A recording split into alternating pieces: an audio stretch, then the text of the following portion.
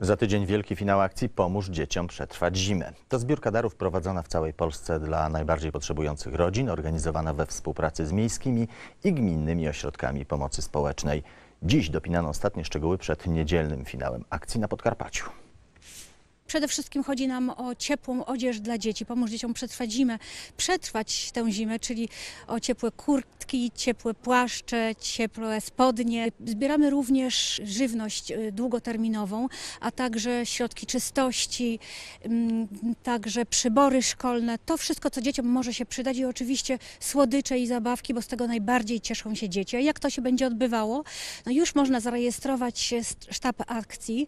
Mm, Taki sztab może powstać przy szkole, przy Gminnym Ośrodku Pomocy Społecznej, przy jakiejś organizacji. My taką zbiórkę organizujemy już w najbliższą niedzielę, 20 listopada, od 10 do 15 w wielu miejscach y, naszego regionu, również w Rzeszowie, y, będą takie punkty, które będą oznaczone żółtym, uśmiechniętym słoneczkiem i tam do tych punktów będzie można przynieść dary.